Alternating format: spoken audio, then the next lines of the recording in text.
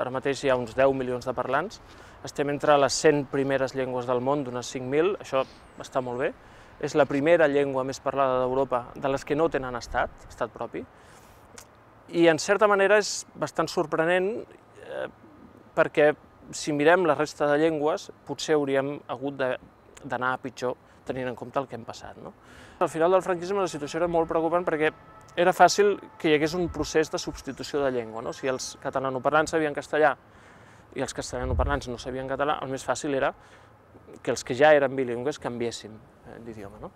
Però ha passat al revés. Francesc Cambou ja ho deia, que la llengua era la primera de les aspiracions polítiques.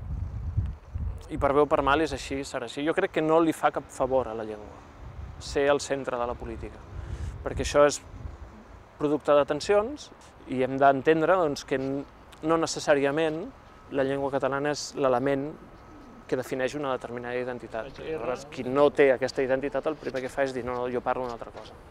Si aquesta llei eh, eh, tira endavant, i si es manté en el temps, eh, pot, ser molt, pot ser un desastre. Jo personalment crec que no passarà res en l'ús social.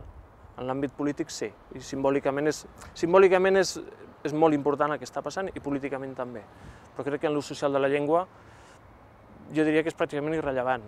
I hem de tenir en compte que hi ha molts castellanoparlants que parlen en castellà amb els seus pares, perquè van venir d'Andalusia, posem per cas, però que parlen en català als seus propis fills. I aquest canvi de llengua no té res a veure amb l'escola. Aquest canvi de llengua es fa quan neix el fill, no quan l'escolaritzes, que és als 3 anys.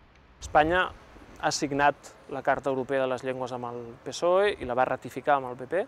És una, una mena de tractat, de document que protegeix les llengües minoritàries. No? Evidentment no, no s'aplica, això està clar.